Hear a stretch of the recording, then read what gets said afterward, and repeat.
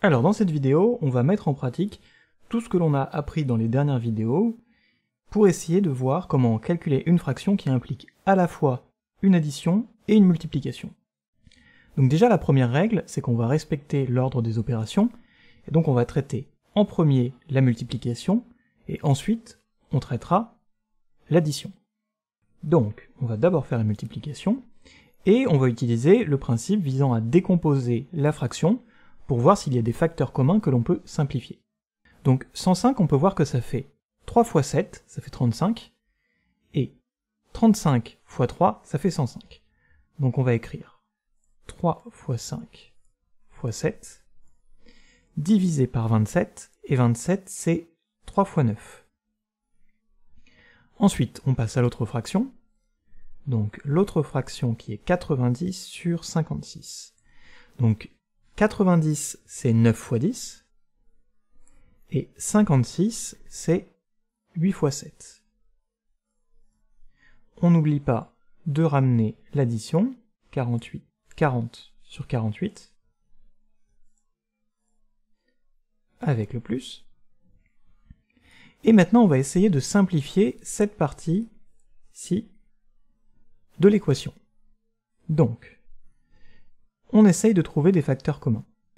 Alors, on peut voir qu'on a un 9 en bas, un 9 en haut. On peut les simplifier, les supprimer. Ensuite, on a un 7 ici, un 7 ici. On peut également le simplifier et le supprimer. On a un 3 en haut, un 3 en bas, que l'on supprime également. Alors on peut encore simplifier. 10, on peut le diviser en 2 fois 5. Donc, on va simplement supprimer le 10 et le remplacer par 2 fois 5. Et 8, on peut également le simplifier. 8, c'est 2 fois 4. 2 fois 4. On voit qu'on a à la fois un 2 en haut, à la fois un 2 en bas. Donc ça, on peut le simplifier. Et ça nous donne 5 fois 5 divisé par 4. Donc 5 fois 5, ça nous donne 25 divisé par 4. On passe maintenant à l'addition. On a 40 sur 48 plus 25 sur 4. Alors là, pour faire des additions entre fractions, des additions et des soustractions entre fractions, il faut que les dénominateurs soient identiques. Donc on doit trouver un facteur commun entre 48 et 4. Et le facteur commun entre 48 et 4, pour que ça nous donne des, nombres entiers, que ce soit plus simple pour faire l'opération, ça va être 12. Donc on va devoir multiplier 25 quarts par 3 sur 3, pour avoir une fraction en douzième, et on va devoir diviser 40 sur 48 par 4.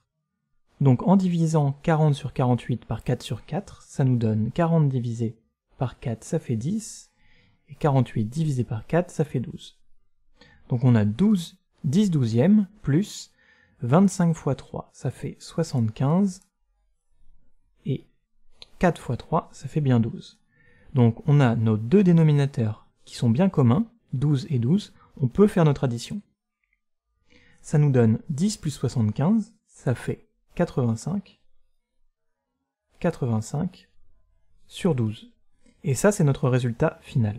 Donc voilà, j'espère que ça aura pu vous aider.